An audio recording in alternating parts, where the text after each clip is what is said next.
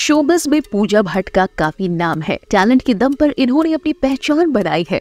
पूजा अब एक्ट्रेस नहीं, प्रोड्यूसर भी बन चुकी है। हाल ही में पूजा ने अपना बर्थडे सेलिब्रेट किया।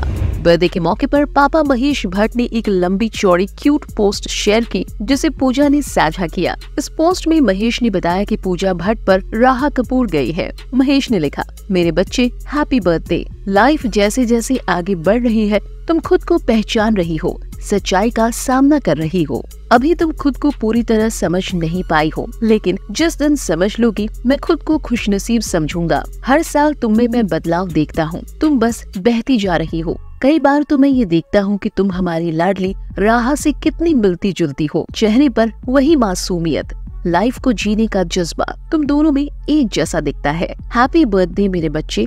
ऐसे ही खुश रहो। खुद को ढूंढती रहो और लाइफ में आगे बढ़ती रहो। ढेर सारा प्यार, तुम्हारे पापा। बता दें कि राह की क्यूटनेस पर तो फैंस भी फिदा है। और उनकी ब्लू आईज देखकर किसी ने ये कहा था कि ऋषि कपूर पर गई है। फ़िलहाल, इस वीडियो पर आपका क्या कहना है? हमें कमेंट करके ज़रूर बताएँ।